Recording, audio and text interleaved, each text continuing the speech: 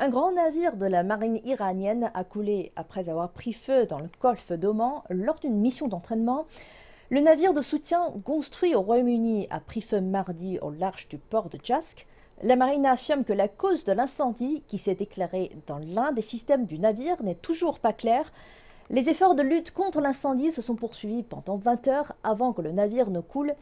L'équipage du navire a été évacué en toute sécurité et aucune victime n'a été signalée. Lors d'un incident distinct, un énorme euh, incendie s'est déclaré dans une raffinerie de pétrole dans le sud de Téhéran. Les responsables ont déclaré qu'une fuite dans une conduite de gaz liquéfié a déclenché une explosion.